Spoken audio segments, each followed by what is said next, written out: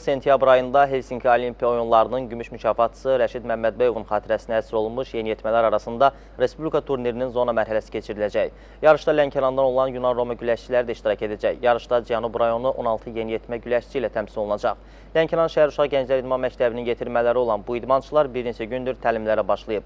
Güləşçilər paralel olaraq həm fiziki, həm də taktiki texniki hazırlıq keçirirlər. Zona mərhələsində birinci və ikinci yerin sahibləri final mərhələsində iştirak etmək hüququ qazanacaq. Hər gün demək olar ki, döşəkdə məşq eləmirik. Həftənin 3 gününü demək səhər çağları salmışıq dəniz qırağında.